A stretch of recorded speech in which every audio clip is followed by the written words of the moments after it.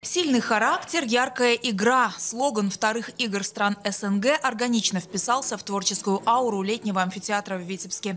Главную концертную площадку фестиваля искусств переоборудовали под спортивную арену. Смонтировали специальное освещение, установили самый современный ринг. Размер 8 на 8 метров. Стандарт международных соревнований. Второй такой же в спортзале ВГМУ для тренировок спортсменов. Опробовать площадку доверили 13-14-летним воспитанникам с дюшор Витебска.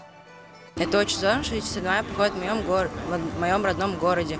Мне, я постараюсь прийти на эти соревнования, посмотреть, как бьются спортсмены из разных стран. И буду болеть за своих.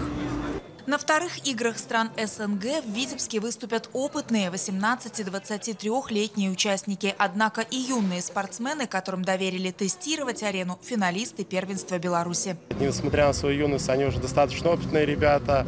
Э, шесть спортсменов, все шесть спортсменов были ранее кто-то чемпионом, кто-то призером первенства республики в своей возрастной категории.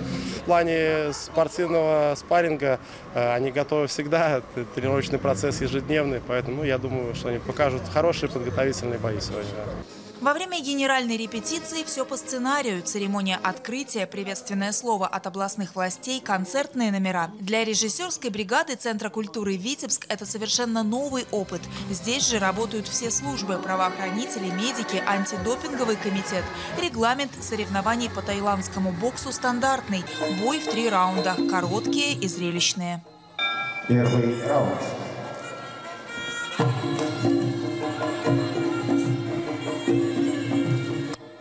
Судейская бригада следит внимательно. На вторых играх стран СНГ к белорусским рефери присоединятся коллеги из других стран. Я считаю, судейство будет на высоком уровне.